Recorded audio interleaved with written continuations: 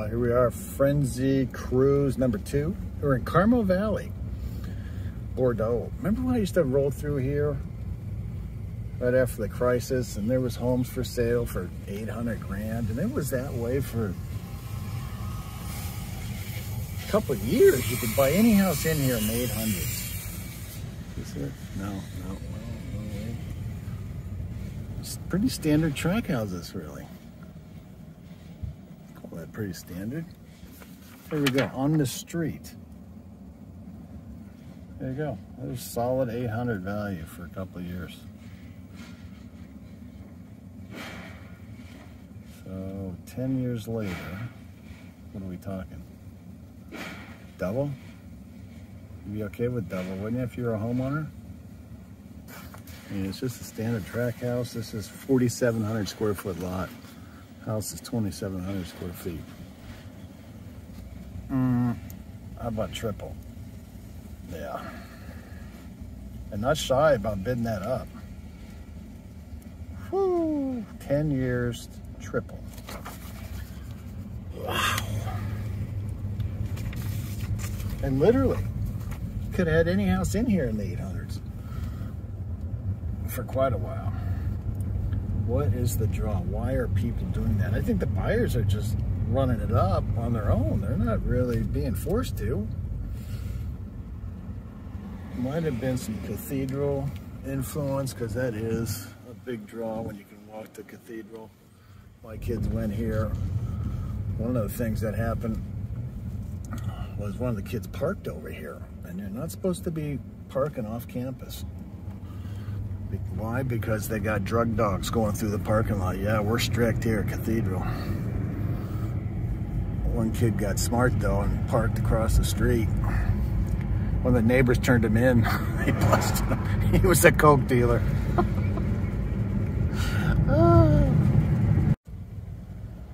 Still in Carmel Valley. Santa Fe Summit. Off Winstanley. 1992 track out. This decent size. Yeah, this is it right here. On the corner. Just closed. This, is, this, oh, here we go. It's got the pool. That's a hot ticket these days. People want a big house, big yard, big pool. Not that big a house. Oh, goodness gracious.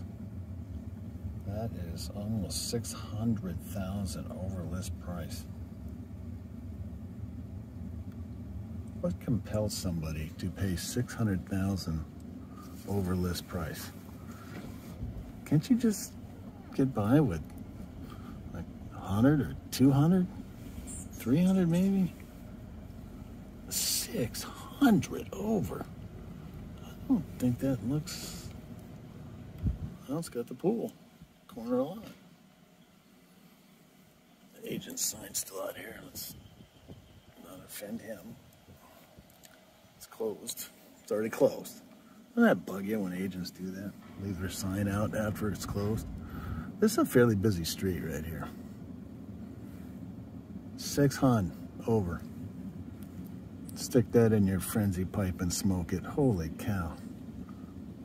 Let's also note, I was just here. It's right when the frenzy first broke out, I sold that one right down here for one three something.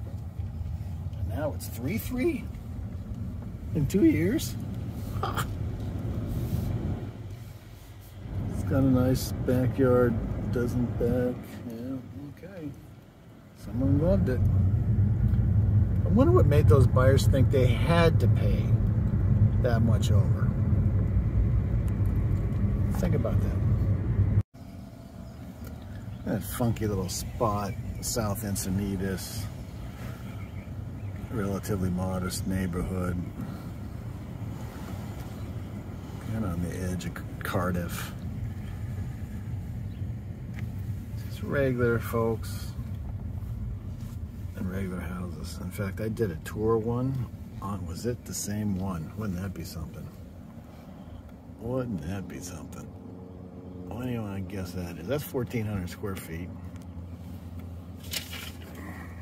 1450, excuse me. Built in 1961. It's a flipper.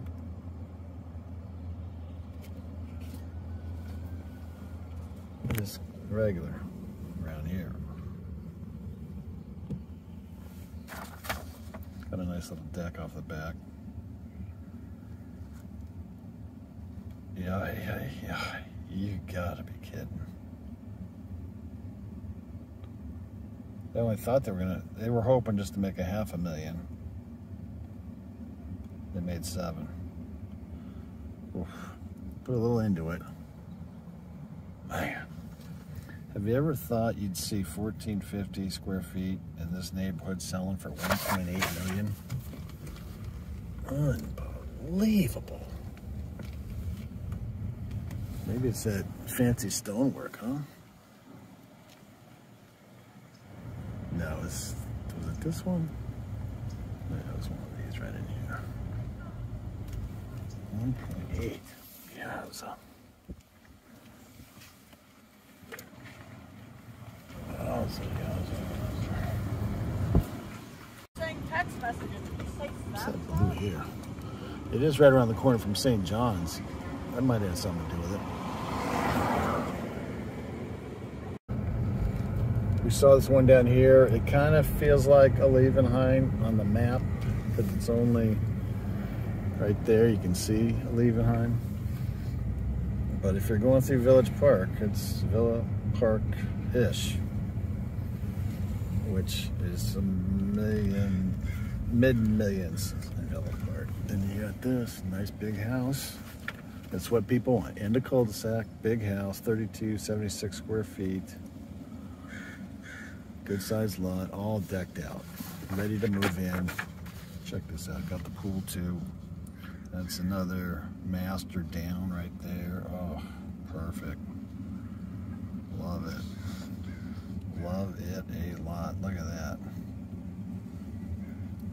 If you're in Olivenhain, that's probably okay. If you're Village Park, seems like a lot. It's all right. You got what you wanted. Probably got some nice neighbors. You never see anybody sell on this street. Bunch of long timers. I bet they appreciate that 2.6. Woo. Davita Drive. You may have seen this on my blog, bubbleinfo.com. I sold that one for 1.9 million, less than a year ago. 1.9 million, less than a year ago. okay, on the same street, there's been two more sales since. This one on the right, listed for 1.9, using mine as the comp. Got 2.45 million. Everyone thought that was outrageous. 550,000 over. Yeah, it was outrageous, all right, until this guy listed. This guy did put in 300,000 worth of uh, upgrades. 19245. They list for 24. $3 million. Just closed. On the same street within this within 12 months. Unbelievable. It had the uh, obligatory pool in the back, but it's not on a half acre lot or anything. It's got a view here down at the end, nice view, little peak of the ocean. That's kind of tight. And these aren't Davidson homes or anything, these are Lennar. And uh, this is Bressi Ranch, which was just hammered during the crisis. And uh, I guess you can say maybe it's all the way back now, but that's a 3,800 square foot track house selling for $3 million. 600,000 over list, over the comp. Just unbelievable. People ask me, Jim, how do you explain that? I think they need to really examine how they come up with that number over what, over the list price. You know what? I'll show you. We did it. We went 100 over. That should be enough to buy any house. All right, maybe 200. Okay, 300 tops. 600? Holy moly, come on. What caused them? I think I don't think people are being pressured by the listing agent. Might have been the park. Because the problem with all of this is it's blind bidding. Then these are even less right here. So you're just picking a number out of a hat. That's what really makes you scratch your head. I'm Jim the Realtor.